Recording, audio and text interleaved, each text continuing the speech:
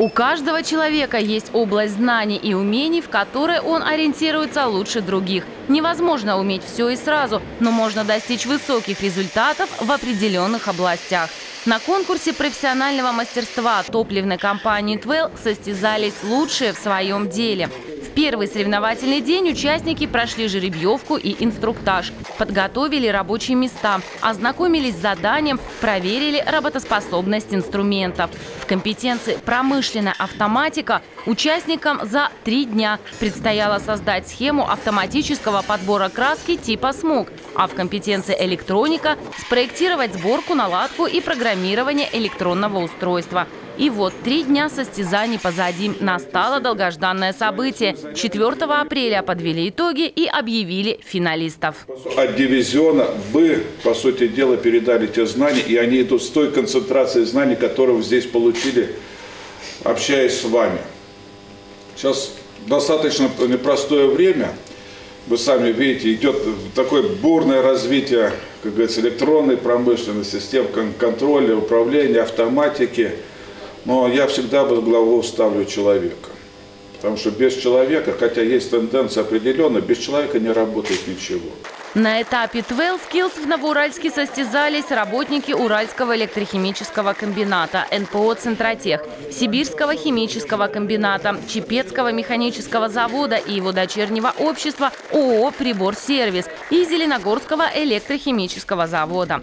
По результатам конкурсных дней золото и серебро в компетенции электроника завоевали инженеры-исследователи МПО «Центротех» Вячеслав Музюкин и Сергей Горбунов соответственно. Третье место у инженера по КПА Зеленогорского электрохимического завода Владимира Руткевича. За первое место в конкурсе профессионального мастерства WellSkills топливной компании в компетенции электроника награждается Музюкин Вячеслав Владимирович. Это все-таки только начальный этап. Моя основная цель – это попытаться взять золотую медаль на Skills. Вот. У меня есть серебряная медаль с всероссийских соревнований WorldSkills High Tech с прошлого года. Бронзовая медаль с Skills. Надо брать золотую. В компетенции промышленная автоматика на высшей ступени пьедестала почета оказался Михаил Щербаков, инженер по КПА на Уральском электрохимическом комбинате. Наградообразующем предприятии он трудится уже более 12 лет.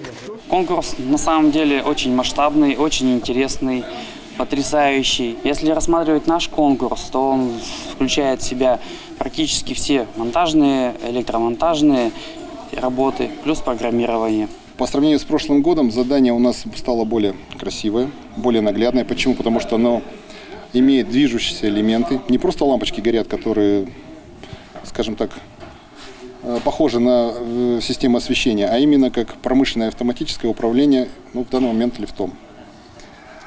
А, в этом году у нас э, используется более сложный контроллер логовский. В отличие от прошлого года у нас был попроще.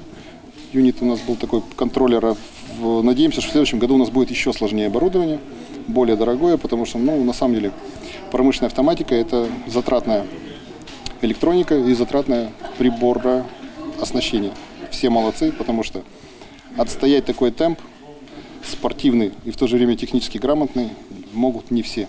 Третье место в компетенции промышленная автоматика также взял работник Уральского электрохимического комбината Евгений Арестов, слесарь по КПА.